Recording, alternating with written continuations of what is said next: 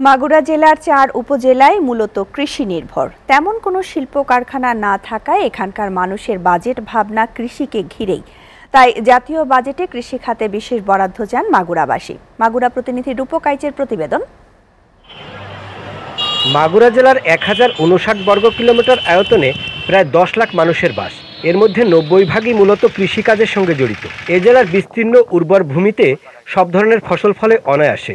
এ কারণে আসন্ন বাজেট নিয়ে কথা বলতে গেলে প্রথমেই উঠে আসে কৃষি ও কৃষকের নানা সমস্যার সমাধান করে কৃষক বাঁচানোর দাবি। তো যেগুলো আমরা আবাদ করি এগুলোর দাম বেশি চাই আর হচ্ছে সারের দাম কীটনাশক ওষুধ ওষুধের দাম কম হবে। না হলে আমরা বাঁচতেছি না আমাদের খুব সমস্যা। এই বাজেটটা আমাদের কৃষকের ধানের দাম একটু বৃদ্ধি করে। এখানকার কৃষকের অন্যতম প্রধান সমস্যা কৃষি পণ্যের মূল্য কম পাওয়া ও কৃষি সামগ্রীর মূল্য বৃদ্ধি।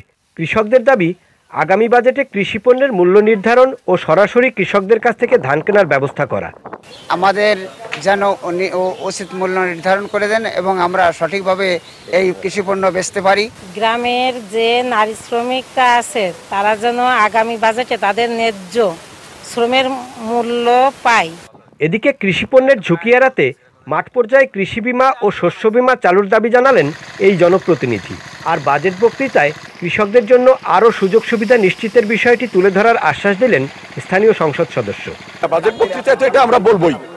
আমাদের কৃষকদের, আমার নির্বাচনী এলাকায় তো বড় ধরনের কোনো ইন্ডাস্ট্রি নাই, কোনো কলকারখানা নাই।